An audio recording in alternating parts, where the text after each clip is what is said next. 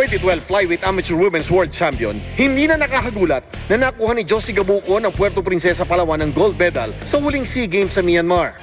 Back-to-back na panalo na ito para kay Josie na nakuha din ng ginto sa 2011 Southeast Asian Games. Ngunit ang kwento ni Josie ay hindi palaging puno ng ginto. Nandun na ako sa point na gusto ko makapag-aral ng college.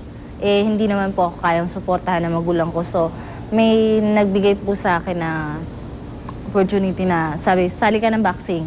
Ah, may scholarship, may allowance, may pagkain. Ang scholarship na kapalit ng sakit ng katawan, naging tulay ni Josie para mapasama sa hanay ng ating national athletes. Kung sa kolehiyo, sumakit ang kanyang katawan sa araw-araw na ensayo, mas malupit pa pala ang sinuong ni Josie Tugo sa World Championships na kanyang nakamit noong 2012. Pinakamahirap na part siguro sa training namin nung time na nakikipag-sparring kami sa mga lalaki. Ang sabi nga ng mga coach namin, mas okay na mahirapan ka sa training kaysa sa pagdating sa laban. At hindi pa raw natatapos ang kanyang pakikipaglaban sa napakaraming hamon ng buhay. Kasama na ang pinakaimportanteng laban sa lahat, ang maitaguyod ang kinabukasan ng kanyang anak.